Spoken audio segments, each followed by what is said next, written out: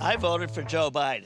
And I voted for Donald Trump twice. Well, we do agree on one guy. Matt, Cartwright.